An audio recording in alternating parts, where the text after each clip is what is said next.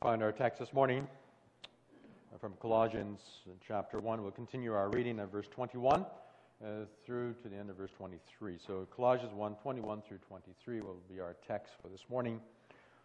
Uh, Paul writes to the believers in Colossae, he says, Once you were alienated from God and were enemies in your minds because of your evil behavior.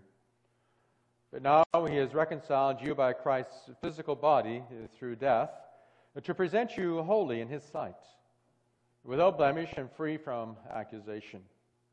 If you continue in your faith, established and firm, not moved from the hope held out in the gospel, this is the gospel that you heard and that has been proclaimed to every creature under heaven, and of which I, Paul, have become a servant.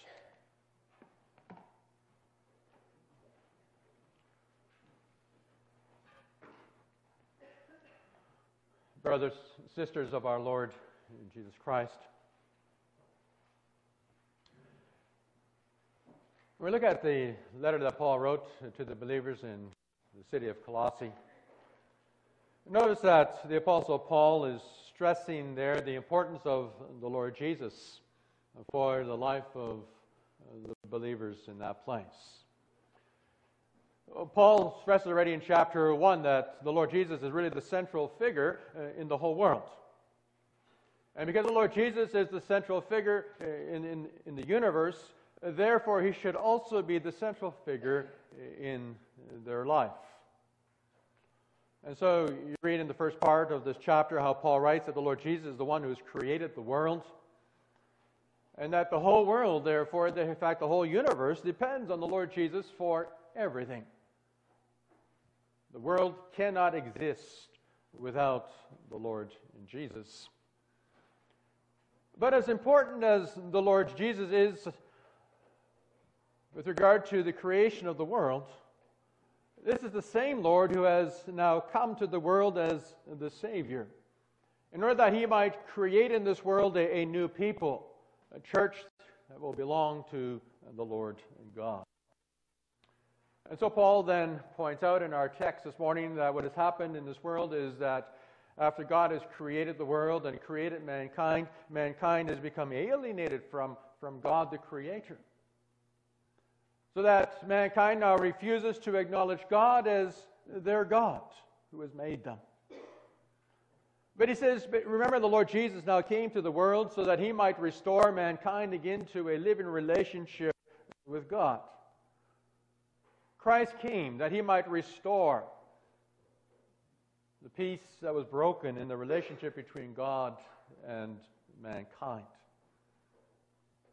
Well, it's a relationship that mankind has broken because they have rebelled against the Lord. But, but Christ, Paul says, came as the great peacemaker so that he might again bring that relationship back together. And he has done that by giving his life as a sacrifice on the cross. And so in this letter, Paul then reminds the believers about the great saving work of the Lord Jesus. And he warns them, and he also encourages them, and he says, And therefore, don't let, get, let go of the great hope of salvation that you have in the Lord Jesus, your Savior. And so this morning, I may proclaim to you God's word under this theme. We'll look at Christ's work of reconciliation. Our theme then is Christ's work of reconciliation. We'll look at three things. We'll look at our past, which we're alienated from God.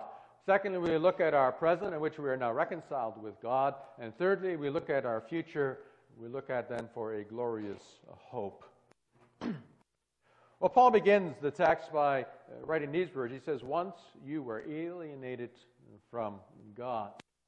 Once refers to a time uh, somewhere in the believer's past life, in, in the believer's past. In order to, to understand uh, where they are today, Paul says, you need to understand where you have come from. He says, when you look at your own life and you look to the past, do you remember that there was a time when you were alienated? That is, that you were, that you were separated, that you were, that you were estranged from God? And of course, when there is an alienation in a relationship, that means that there is a separation between uh, two parties. And whenever there is separation between two parties, there you also have hostility uh, that exists. And so Paul then recalls uh, a time when that sinful situation existed in uh, these people's relationship with the Lord God. He says, Remember, there was a time when you were estranged from the Almighty One. But Paul also makes it very clear. He says, and you need to understand, too, that that situation wasn't God's fault. God never became unfaithful to you. God never became unfaithful to mankind, but it was a result of our own human guilt and our own human hostility towards Him. And so Paul here is actually taking us back uh, to the beginning uh, with our first parents, Adam and Eve. So he recalls how, and also I know he doesn't speak about it, but yet we need to think back to how God created mankind in the beginning. He made us perfect. He created us without any sin. God in paradise also revealed his perfect love uh, for Adam and Eve. But what did they do with God's love? What did they do with God's faithfulness? Or rather than honoring God, rather than serving God faithfully, no, they turned against the Lord God in rebellion. And by falling into sin, they now estrange themselves from the Lord God of heaven. Well, the fact that mankind is, is to blame for this state of alienation comes out loud and clear in the words of the Apostle Paul when he writes this. He says, You were enemies of God in your minds because of your evil behavior. Enemies in your mind speaks about uh, the way that they were thinking about the Lord God uh, there in their mind. Paul says, Remember how in the past the attitude of your mind was an attitude of hostility. That this hostility against God is a determined, self sustained attitude of mankind against the Almighty. It means that human beings are determined to oppose God because of their rejection of Him, because they don't want to serve Him. Remember, Paul wrote about that hostile attitude in his letter to the Romans. In chapter 1, verse 21, he writes these words. He says, For although they, that is mankind, although mankind knew God, they neither glorified him as God nor gave thanks to him. But their thinking, their thinking became futile. So you notice what he says. He says, even though mankind knew God, Yet they rejected the idea that they were somehow creatures who were made by God. So that instead of giving glory to their Creator, no human being sought satisfaction in their life by living in complete ignorance of God.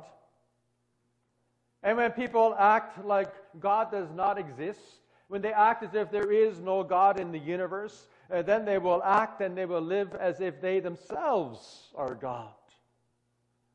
And if you become God in your own eyes, that means that you think that you can also determine for yourself how you are going to live. And so Paul reminds the believers. He says, Remember how that was the attitude in your mind at one time in your life?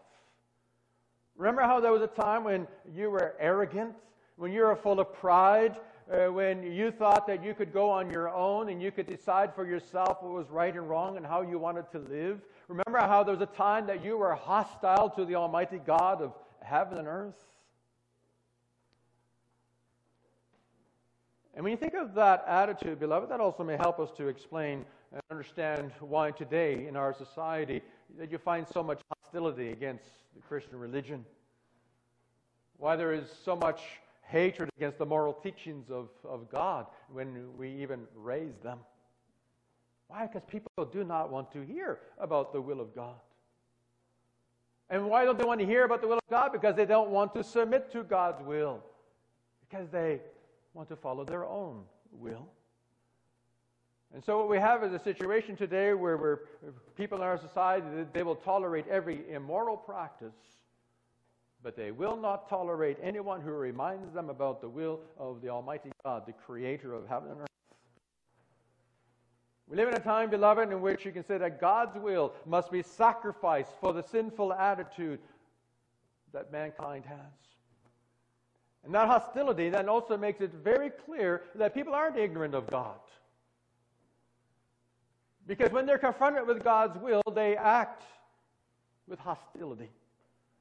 They desire, you can say, with their whole heart to live in ignorance of God. Well, not only were they enemies of God in their minds, but Paul also points out, he says, their hostile attitude also results in uh, their evil behavior. Notice the footnote in your Bible, in your Niv Bible, in verse 21, in a way makes clear what Paul is really saying here. This verse then reads like this if you follow the, the footnote Once you were enemies of God in your minds, as shown by your evil behavior. As shown by your evil behavior. And so Paul's point is that a hostile attitude against God leads to an evil, it leads to a wicked behavior.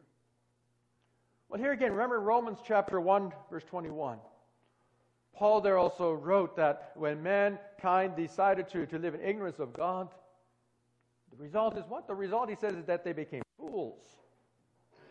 And therefore, God, in his judgment, what did God do in his judgment? He gave them over, Paul says, to the sinful desires of their hearts. And so you see, a hostile mind against God, Paul says, always leads to great wickedness in the life of mankind. And again, you, you can see how that principle is being worked out in our own society eh, even today. See, like the more that people live in that willful ignorance of God, the more they promote immorality and wickedness. And so, what you see in our society today is simply the natural result of people's rejection of God. But now, of course, we can point our finger at our society. We look at all the terrible things that are happening all around us. But we need to keep in mind, beloved, that Paul writes this not for the people in our society in the first place. But he's writing this as a, a warning uh, to the believers there in the church in Colossae. Although we don't know anymore what the exact danger was or the exact heresy was that uh, Paul had to write against here in this congregation. The fact that, that Paul reminds them uh, about their old way of life when they're still unbelieving indicates that there was then a real danger that these believers were going to go fall back again to that old way of life, as, as if they were giving up their Christian faith and, and going back to that old way. And so Paul says, he says, remember where you came from? Remember how once you were alienated from God? Well, you know, you never want to go back to that old way of life again, do you? And so hold on, hold firm to the hope of salvation that the Lord God has given you. Now, beloved, to, today for, for many of us, you know, we I think most of us, the majority, have we've grown up as children in, in the knowledge of the Lord God. We've gone to church. We've heard the preaching every every Sunday. We've gone to catechism and we've learned about the scriptures and about the Bible. And so perhaps there are some uh, among us who, who can relate to, to what Paul writes here more than, uh, than to others in the sense that we have different backgrounds. But the warning is very clear. As God's people, Paul says this. He says, You never want to go back to that life in which we were alienated from God, who is our Creator. Because to be alienated from the Lord God, to be separated from your Creator, means that you live without any hope here in this life. And so Paul says, He says, Don't go back there again. No, to go back to that life of ignorance in which you once lived under the wrath and the judgment of God. You don't want to go there. But cling, my brothers, my sisters, he says, he says, cling to the glorious hope that you have in God. Remember how you received that glorious knowledge of God so that now you believe in the Lord Jesus as your Lord. You know him to be your Savior. Remember that he is the one who, who didn't only create you, but he's also the one who has now come and renewed your knowledge and your understanding about the Almighty God.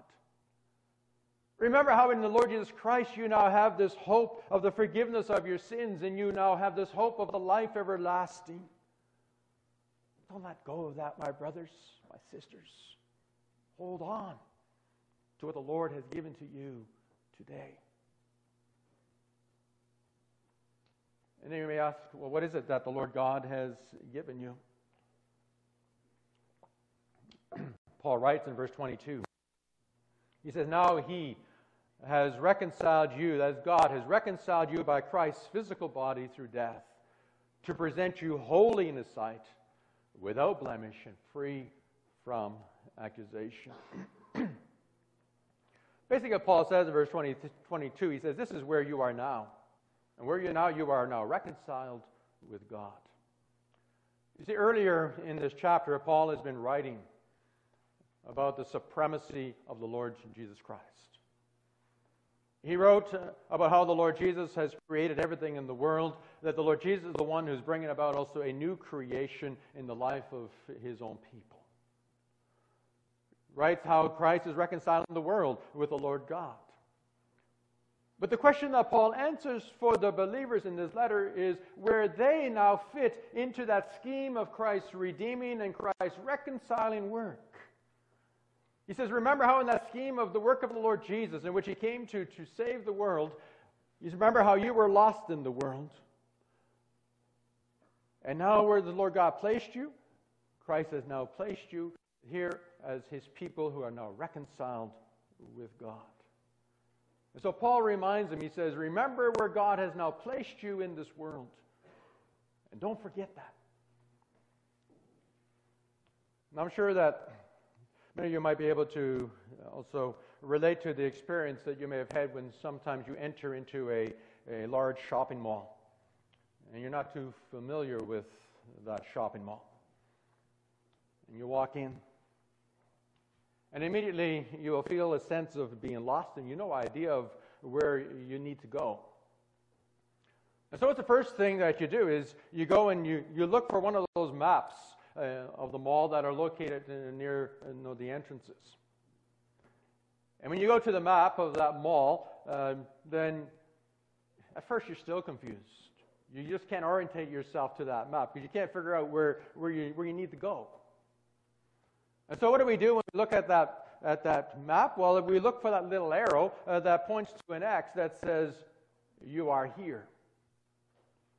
And once you know where you are on that map, uh, the map begins to make sense, and you can begin to figure out where you are going or where you want to go. And in a sense, you can say that is what Paul is, is doing for the believers here in Colossae in this letter. He says, The Lord Jesus is working to reconcile the world with God.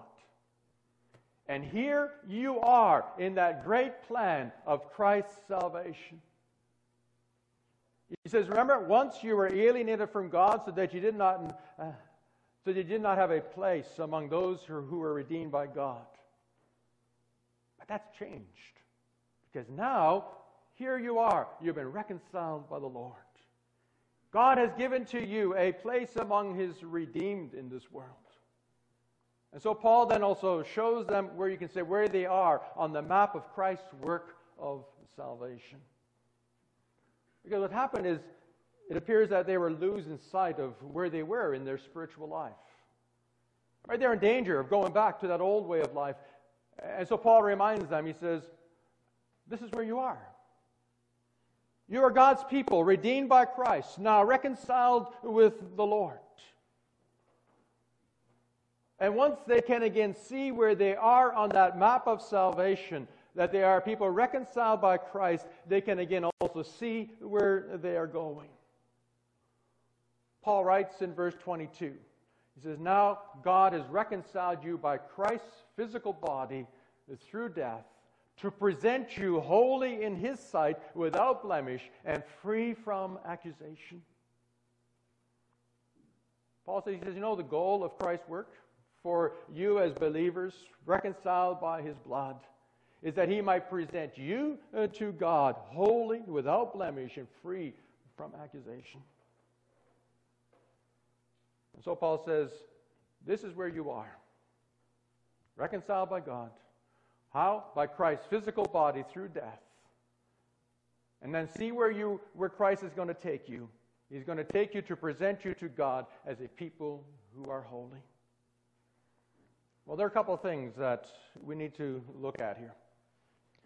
In the first place, uh, Paul reminds us about how we are indeed we are reconciled with God. He says it is with Christ's physical body through death. Literally, he speaks about Christ's body of flesh. and so Paul combines two words body and flesh. And in this way, he stresses that Christ really is a human being, just like we are human beings. If you take a look earlier in this, cha- in this, in this chapter, in verse 15, uh, though you'll notice that, that Paul says that Jesus is the image, he's the image of the invisible God. That means that the Lord God, Paul says, has become visible to us here in this world through his Son. Jesus Christ came and he dwelt among us in our human body. And it is in uh, this body of flesh uh, that Christ has come in order that he might make the great payment for all of our sins. In that body of flesh, he became the firstborn from among the dead. For dying in his real physical body, he has paid for our sins. But he didn't just die. His body is not just rested in the grave somewhere, but he also rose up with that physical body. And so he has also then overcome death in this world. And by his bodily resurrection, then the Lord Jesus has now opened the way for his people, for us, into eternal life. So that's how Christ now reconciles us to God through the sacrifice he gave with his real physical body. But what was his goal? Because once Christ has reconciled us, then that's not the end of the matter. Surely, surely there has to be more than that. And Paul says, well, his goal then was this that he might present us holy in God's sight. Well, here to present has the idea of, of bringing someone before a judge. And so Christ's goal is, is to present us before the great judge in heaven as a people who are holy, that is, a people who are without any sin and without any guilt. And when we stand before God being holy, this isn't our holiness, but this is the holiness that has been given to us by the Lord Jesus Christ through his physical body. It is through the blood that he has shed that Christ has paid for all of my sins, that he's removed also the guilt of sin from my life. And therefore, the Lord God is the great judge. On that day, will then also declare us. He says, You are, you are innocent, you are without any guilt for your sins have been paid for by the blood of Jesus. Paul also says that Christ will present us as a people before God who is without any blemish. Well, you know that this word blemish is often used in the Old Testament in, in connection with the, the animals that were sacrificed to the Lord uh, God. And so, before any animal was sacrificed on the altar in the Old Testament, the priest would first of all look at the animal, inspect the animal very carefully uh, to, to make sure that there were no broken bones, that there were no physical blemishes, that the animal was an animal that was limping, or that there was anything else that might be wrong with the animal. Why? Because that animal had to be perfect in order that it might be also accepted by the holy God. And so Paul says, he says, you know what, Christ's goal is that he might present us as God's people without any moral blemishes. As people who are completely perfect, without sin, without any corruption, without any evil within us. Now, of course, when you think about that, then we also know, beloved, that today we're not yet perfect. We see our own sins, our own struggles, our own battles. We see also the blemishes of sin and evil in so many aspects of our lives, even those that are still lived there in, in our thoughts and our minds. But what but Paul says, what, what Christ does is he washes us clean with his blood. He washes away every blemish. He removes every stain of sin so that when we appear before the throne of God, we will appear perfect in the sight of our Lord. And Christ, she says, will also present us to the Father free from accusation. That means that when we stand before the, whole, before the judge in heaven, there will be no one who can bring any accusation of wrongdoing, of evil, of corruption, or of sin against us, no matter what we may, what we may have done here in this life. Well, what does Paul talk here about free from accusation? Well, because we know that we have a great enemy who's the devil. And the devil is often referred to in the scriptures as the great accuser. And so, what does the devil try to do? Well, the devil stands there before the throne of God and he attempts to bring accusations against us. And on the one hand, you can say, you know, those accusations are accurate. He has a lot of ammunition. But yet, Paul says, but when, Christ, when the devil comes and brings those accusations of sin and evil against you, none of his accusations will be able to stick. They will all be brushed aside. Why? Because Christ has removed every accusation from your life because of his sacrifice on the cross. So that in the face of every accusation that the devil might even bring, Christ will declare that this one is innocent because I have washed him, I have washed her clean from all their guilt and their sin. So Paul says, my fellow believers, my brothers, my sisters in Colossae. This is where you are in the scheme of Christ's work of salvation. You are today, you are now reconciled with God. Now that you know that you are reconciled with the Almighty, now you can also see where your life is going. Now you can see that Christ is leading your life to his goal, and that is that he might present you to the Father as holy, without blemish, any sin, free from every accusation of wrongdoing. So, my fellow believers, don't return back to that old way of life. Don't fall back into the life in which you once were alienated from God and you're enemies of the Lord in your minds. Beloved, that message was so important for the believers in Colossae because of the danger in which they were and falling away and turning their back on God and on Christ. But that message, beloved, is just as important and valuable for you today. For Christ comes, and, and he also speaks to us today, and he says, I have reconciled you with God through my sacrifice on the cross. And therefore, beloved, you also need to, to see where you are then on that, that map of Christ's work of salvation. You need to also see in your life that you too are a people who have been reconciled with Christ with God through the blood of Christ. And when you see that, then you can also see on that map of Christ's work of salvation uh, where you are going. Then you also know that, that the Lord Jesus Christ is, is directing you to that day when he, when he will present you before His Father in heaven as a holy people. He presents you as people who are without any blemish of sin, that you are free from any accusation of wrongdoing. That's the incredible gospel message. And He'll do that for you. Not because any of us, beloved, are worthy of that. But He will do that. Why? Because in His grace and His mercy, He has washed us clean from all of our sin. He's taken away our guilt by His blood. And therefore, also the warning of our text is important that we do not then turn back to that life in which we were alienated from God, we were enemies of God in our minds. But beloved, that each day that you walk with Christ, as we look forward also to the future. For Christ's goal is to present us without blemish, free from accusation.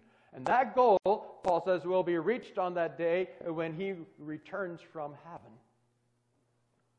But the question then is how will Christ reach that goal for our lives? Well, Paul says that goal will be achieved, if you continue on in the text, if you continue, if you continue in your faith. That was an important message for the believers in Colossae because, as we said, they're in danger of leaving the faith by following false teachers who appear to have denied the, the supremacy of the Lord Jesus for the life of the believer. And Paul says if you continue on that path, going backwards, uh, then you will miss the goal that Christ has for your life. And so, what you have here, beloved, is this call to persevere in the faith every day. Well, then you ask, so what is this faith that Paul is talking about? Well, Paul is, is thinking, verse 23, he's thinking about the hope that he says is held out in the gospel. The gospel that you heard, he says, and that has been proclaimed to every creature under heaven, and of which I, Paul, have become a servant. You see, beloved, when, when Paul speaks about faith, He's thinking about the hope that we have for the future. This hope is the hope that is given to us in the gospel, he says. And he also says this gospel is the good news of life and salvation in Jesus Christ. This gospel, beloved, is the, God's promise that for the sake of the Lord Jesus' death on the cross, through his great victory in the resurrection, God will no longer hold your sins against you.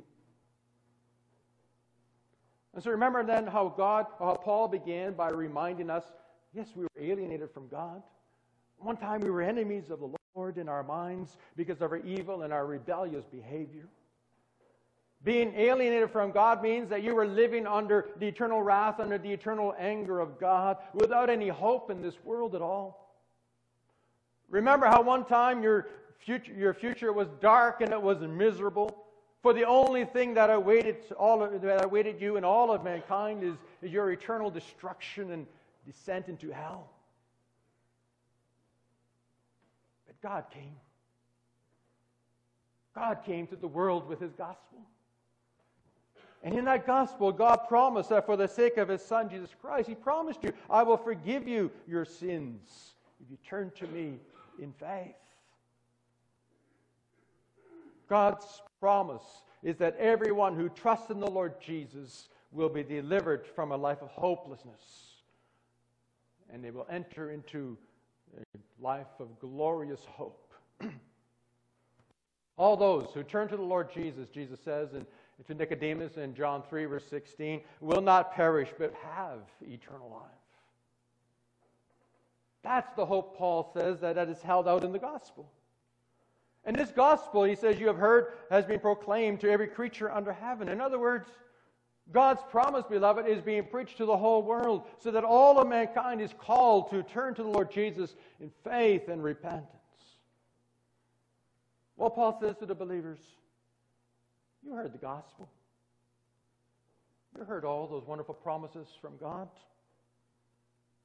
So now why? Why are you in danger of letting go of those promises?